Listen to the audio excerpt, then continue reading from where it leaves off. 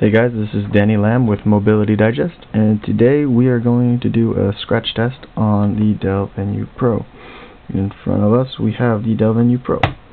Uh, car key, some coins, uh, a ballpoint pen, this will be for last, a pair of scissors, and razor blade.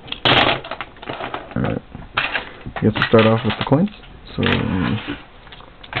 here it is.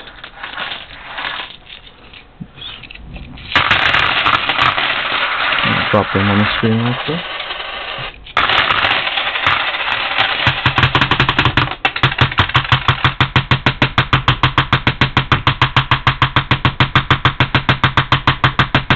Good bang. Some marks on the screen. Just go ahead and wipe it down. And check the screen for scratches, shall we? Uh, does not appear to be any scratches on the screen. So survives the coins. Next up, we have pair keys. Scratch it.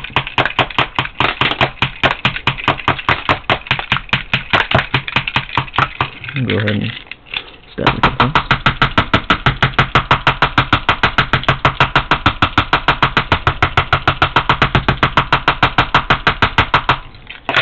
As you can hear, I'm hitting it pretty hard. Let's go ahead and wipe it down.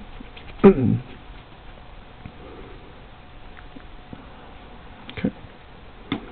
And again, there does not appear to be any scratches whatsoever. Alright, let's try the scissors. Go ahead and open them up.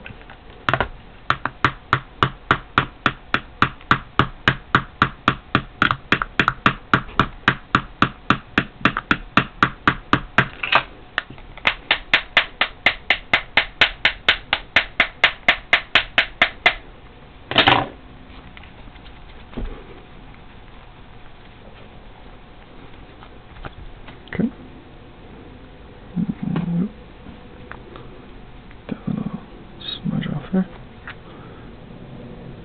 don't know if you guys can see anything, but I do not see any scratches at all. Okay, so let's put the scissors away. Time for the razor blade.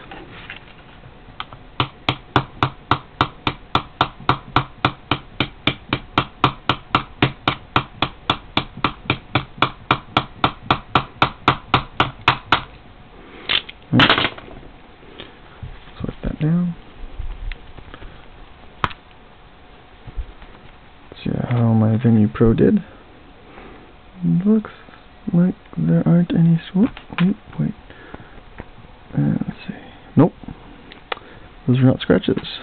Those just some dust particles or grease. But they were not scratches.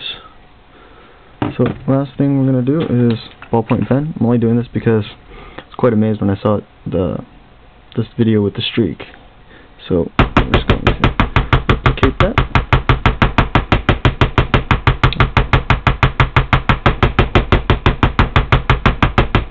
Hear I'm hitting it pretty hard. The screen actually doesn't dimple like it did on the streak. You can see all the ink marks I left on there. Let's see if they come up.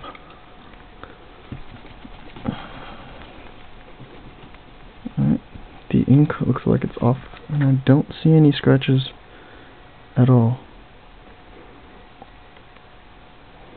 And there you have it. That's the Gorilla Glass screen on the Dell Venue Pro. Pretty much stands up to everything you throw at it. If you guys have anything else you want me to try to scratch it with besides sandpaper and diamonds, let us know in the comments and I'll be sure to give it a shot. See you guys later.